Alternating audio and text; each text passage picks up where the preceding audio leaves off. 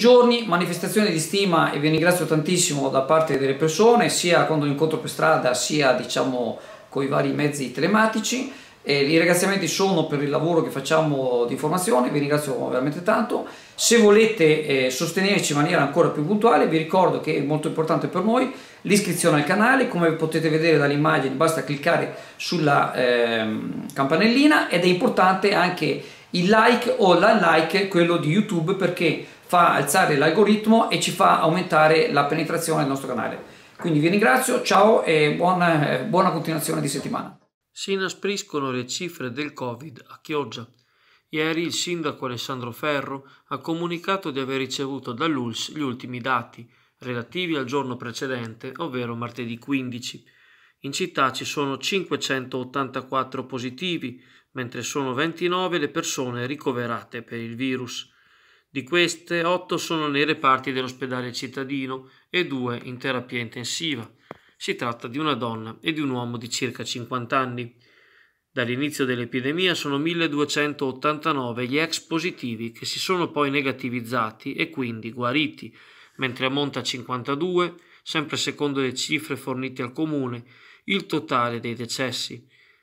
Stupisce in particolare il numero di eventi associato a questa seconda ondata, dal momento che le vittime circostanziate con le proprie generalità sono state fin qui sette. Frattanto questa mattina il presidente della giunta regionale Luca Zaia ha annunciato per domani la firma di una nuova ordinanza restrittiva che obbligherà i veneti, dalle ore 14 di sabato dicembre fino al 6 gennaio, a rimanere entro i confini comunali. I negozi potranno sì aprire fino alle ore 21, ma serviranno solo chi abita in quel dato comune. Le deroghe sono concesse naturalmente per soli motivi di lavoro e sanitari. Lo stesso Zaia ha paragonato la disposizione a quelle in vigore fin qui nelle zone arancioni e attende comunque un riscontro da Roma quanto alla probabile emanazione di ulteriori misure emergenziali da parte del governo.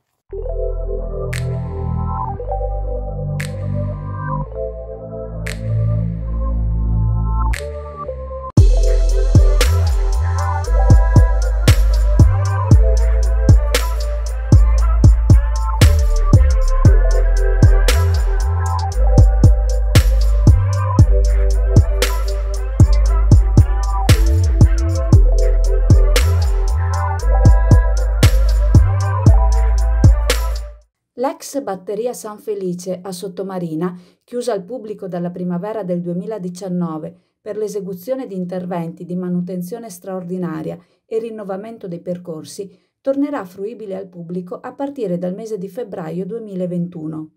La Giunta Comunale stamane ha infatti approvato la delibera che individua i nuovi orari di apertura, in accordo con la proprietà, la Darsena Mosella, che l'ha acquisita a seguito dell'avviso di asta pubblica nel luglio 2017 dall'Agenzia del Demanio. L'ex batteria San Felice sarà quindi aperta nei mesi di febbraio, marzo, aprile, ottobre dalle ore 10 alle 12.30 e dalle ore 15 alle 18, da maggio a settembre a partire dalle ore 10 fino alle 12.30 e dalle 16 alle 20, mentre da novembre e gennaio rimarrà chiusa per manutenzione.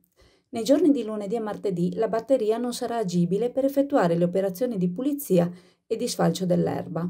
L'accesso alla batteria sarà garantito, gestito e controllato con proprio personale dal soggetto attuatore, la Darsena Mosella, anche al fine di evitare danneggiamenti ed atti di vandalismo in questo luogo di interesse storico. Spiega il vice sindaco e assessore al demanio Marco Veronese, verrà inoltre allestito uno spazio informativo all'interno e la partnership tra il comune e l'impresa assegneranno una borsa di studio annuale del valore di 2.000 euro al giovane che più si sarà contraddistinto per meriti sportivi o culturali.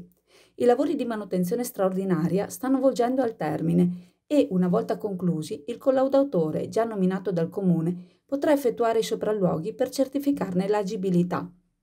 Riteniamo, conclude il vice sindaco, che a febbraio 2021 tutto l'iter possa essere concluso e quindi ripristinato l'uso pubblico di quest'area, di riconosciuto pregio storico e ambientale.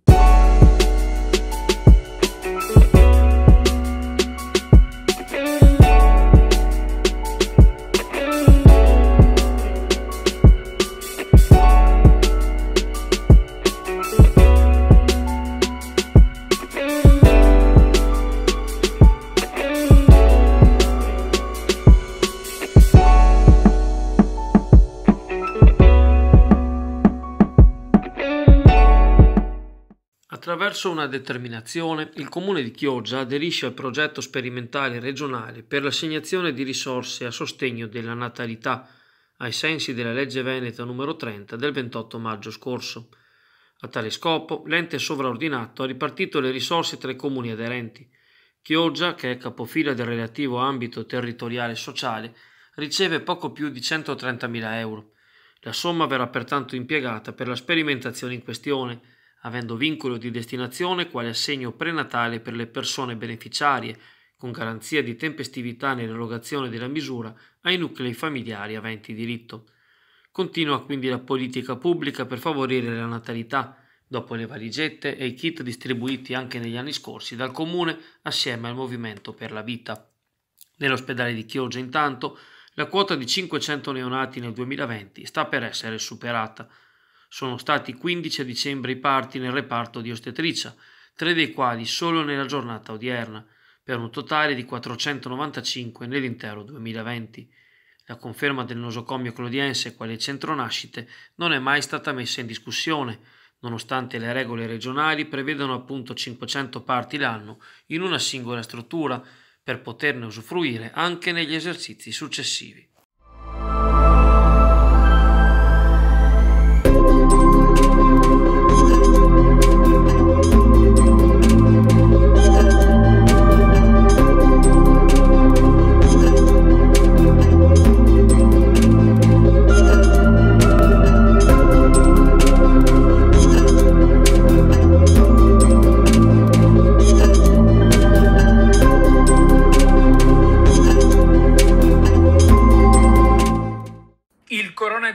Ci ha insegnato che non c'è attività o professione sicura se non online. Ma come guadagnare online partendo da zero senza rischi? E soprattutto, qual è il business online più adatto a te? Ciao, il mio nome è Antonio Vida e ho cominciato la mia carriera lavorativa come semplice impiegato guadagnando 1500 euro al mese lordi, ma grazie a internet sono diventato un imprenditore di successo. Prima di trovare il metodo giusto per guadagnare online seriamente in maniera costante, ho commesso tanti sbagli.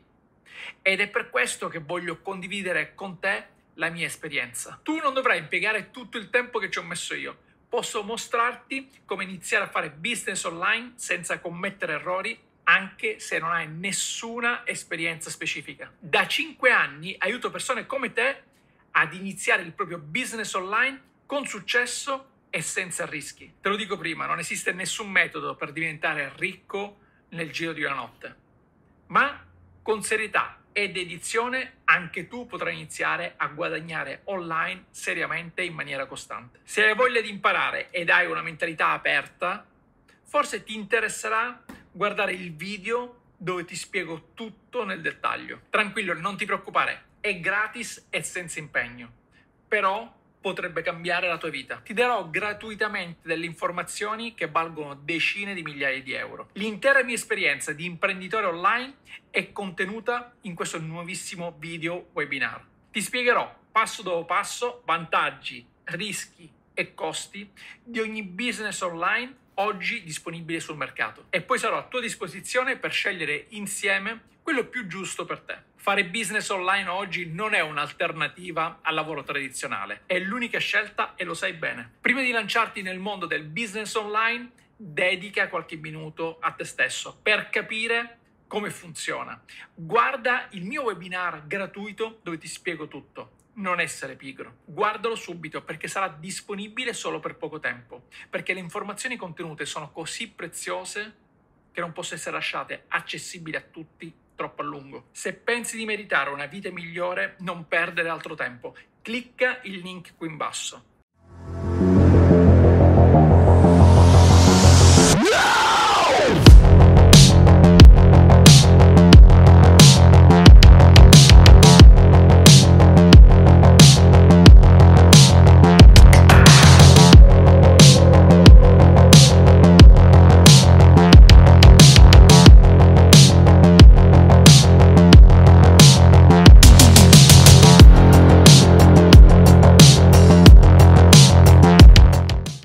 Nuovo abuso edilizio in carico all'impresa Tetis Acquacoltura.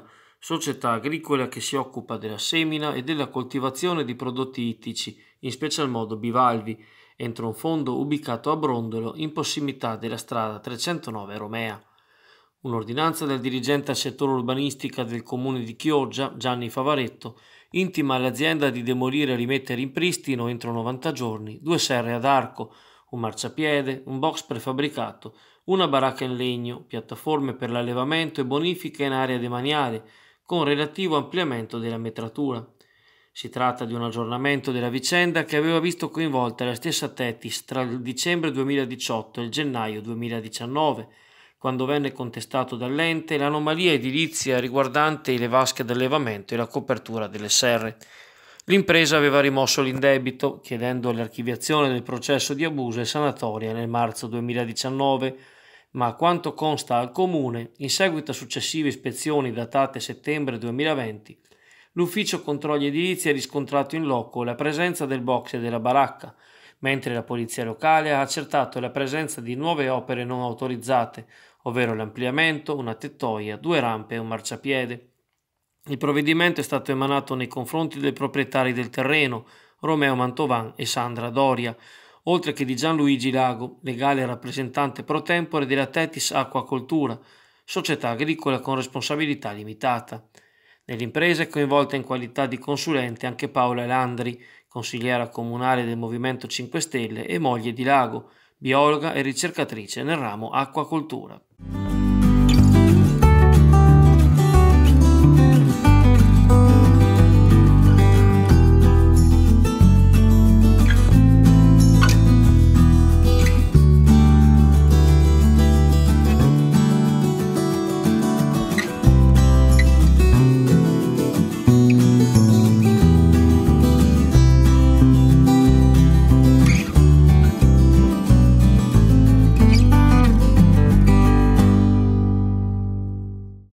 Quest'anno Babbo Natale arriva nelle case di Chioggia a portare i doni ai più piccoli. L'iniziativa è della Croce Rossa Italiana, la cui sezione locale ha ideato appunto un servizio che supporta genitori e parenti nella consegna dei pacchi regalo. I volontari dell'associazione sono a disposizione previo appuntamento all'indirizzo mail giovani.chioggia-crivenezia.it oppure attraverso WhatsApp al numero 388 999 4464. Il format Babbo Natale a casa tua è pronto a regalare una festa magica alle bambine e bambini della città. Dopo la prenotazione, i volontari contatteranno la famiglia per concordare le modalità del recapito, a fronte di un'offerta libera per le attività della Croce Rossa Chiogiotta.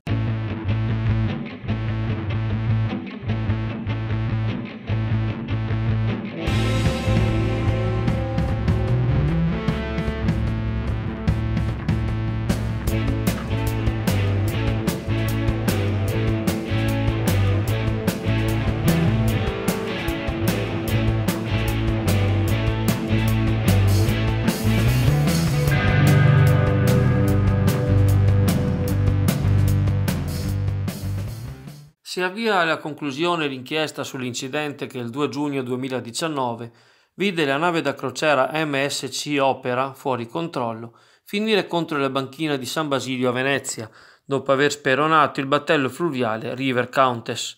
Cinque tra gli indagati patteggeranno, mentre per quattro sarà chiesta l'archiviazione. Confermata l'importanza della consulenza voluta dalla Procura della Repubblica, che evidenziava le responsabilità del comandante della nave e assolveva i piloti dei rimorchiatori Angelina C e Yvonne C, impegnati in tutti i modi a limitare i danni causati dall'impatto. Nessuno comunque andrà in carcere, perché le pene oggetto di patteggiamento sono sotto i sei mesi e saranno convertite in sanzioni pecuniarie. A pronunciarsi tra qualche mese sarà il giudice per l'udienza preliminare, basandosi sul quadro e sugli atti depositati dai pubblici ministeri Andrea Petroni e Giorgio Gava. La questione economica invece, ovvero il risarcimento dei danni, è già stata affrontata e risolta dalle compagnie e dalle assicurazioni.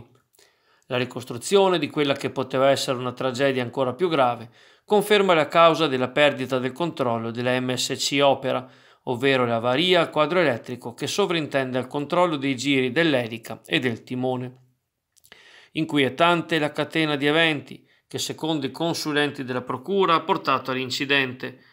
L'allarme di malfunzionamento era scattato sulla plancia di comando alle ore 7.26, quando la nave si trovava ancora fuori dalla bocca di porto del Lido ed è stato ignorato dal capo elettricista, dal primo ufficiale di macchina e dal direttore di macchina. Eppure, sempre secondo i consulenti, per ripristinare il quadro tecnico sarebbe bastato riarmare gli interruttori.